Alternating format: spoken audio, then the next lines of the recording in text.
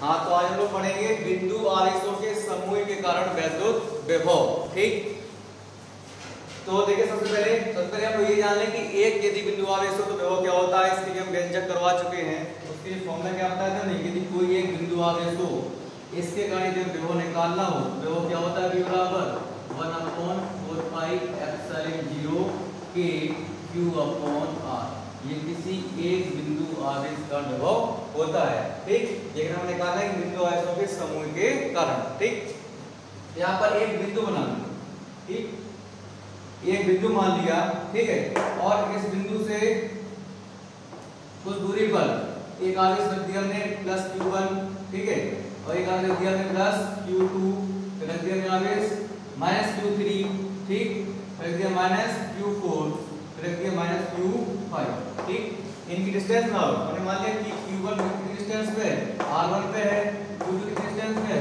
R2 पे है तो q3 कितनी डिस्टेंस पे है? R3 पर है तो q4 की डिस्टेंस क्या बनानी पड़ेगी? R4 उसकी क्या हो जाएगी।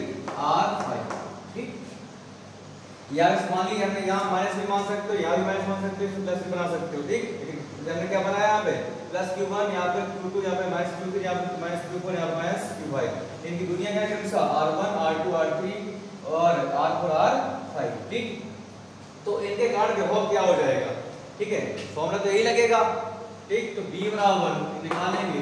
तो one upon four pi epsilon zero ठीक? ये तो कॉमन बना रहेगा। तो अंदर क्या हो जाएगा? आप इस कौन सा है? Q1 तो q1 इसकी दूरी कितनी थी? R1 तो अपॉन r1 दूसरा कौन सा था? Q2 प्लस का है? तो प्लस q2 दूरी कितनी थी? R2 तो कितना हो जाएगा? R2 ठीक? अगला कौन सा है माइनस q3 माइनस q3 दूरी कितनी? r3 तो कितना हो जाएगा ये?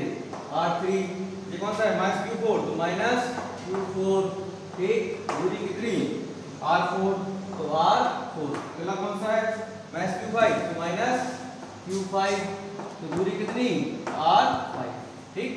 तो हमारा कोई कितने बिंदु आवेश समय बने रहे ठीक है? उनकी डिस्टेंस डिस्टेंस कितनी है?